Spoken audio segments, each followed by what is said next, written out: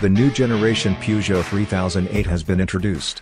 With the change of generation, the model has also changed its form factor, now it is a cross coupe, now it is E3008, i.e. an electric car. Moreover, the SUV became the first model not only of Peugeot but of the entire Stellantis group to be built on the latest STLA medium platform, designed for electric cars. By 2030, the brand intends to have fully electric versions of its entire range. The new Peugeot E3008 will be presented in three versions.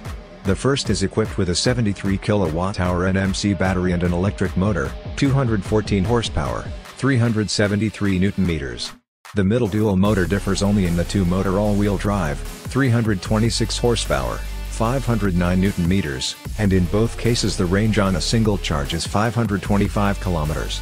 At the top of the range is the long-range version with a 98 kWh battery and a range of up to 700 km.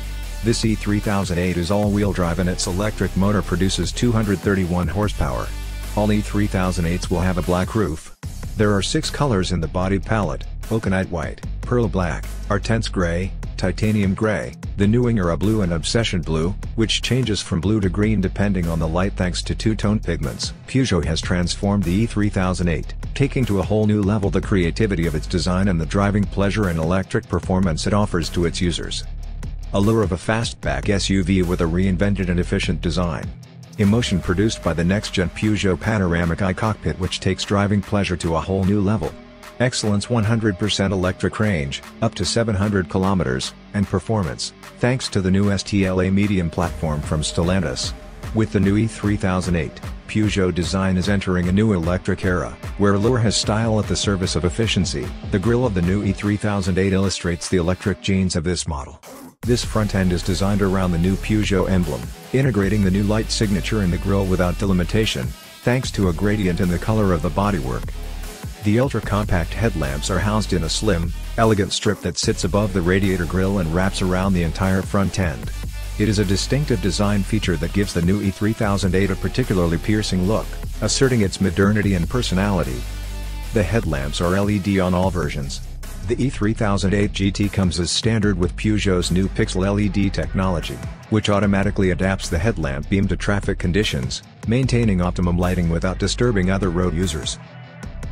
The crossover can be charged with direct current up to 160 kilowatts. In this case, the battery fills from 20 to 80% in about 30 minutes. The car also supports V1G and V2L technologies. The first minimizes the cost of charging based on the capabilities of the network, the second allows you to charge from the electric car household appliances or, for example, a scooter. In addition, there is a three-stage regeneration system and several driving profiles, including 4WD, only in combination with dual-motor drive, for snowy roads, mud and slippery surfaces. Later in the gamut of versions of the 3008 will add fuel-efficient modifications with mild hybrid and charged installations and some kind of powertrain specifically for international markets. According to unofficial information, the base crossover without the prefix E will receive a Turbo Troika 1.2 with a 48-volt electric motor built into a 6-speed robot, and a more powerful version will be offered with a Turbo 4 1.6 and a battery of increased capacity.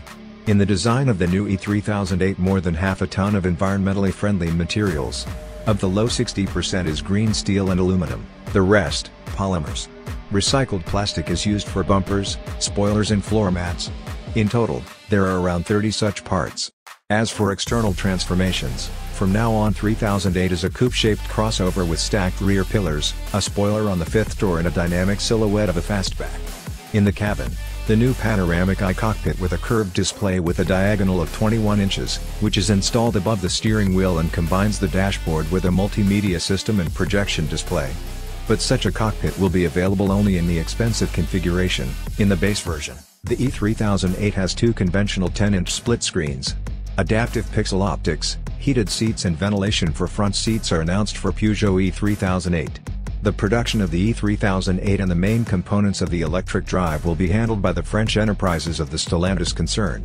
JV Stellantis and Nidec and Tremery will produce motors, the plant in Valenciennes, gearboxes.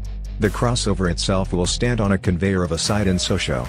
Next year, the company also announced the appearance of a larger electric car Peugeot E5008 in 2024.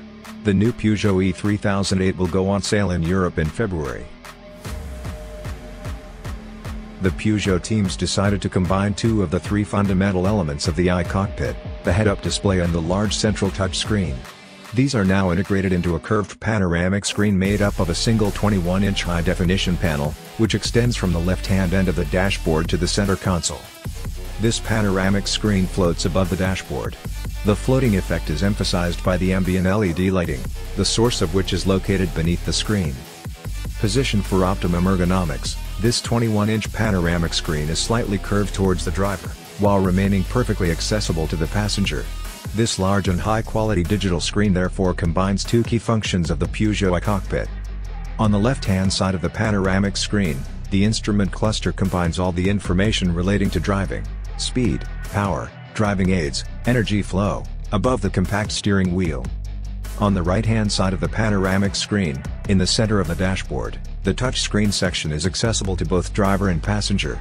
It can be used to manage the heating slash air conditioning, navigation, media slash connectivity systems, etc.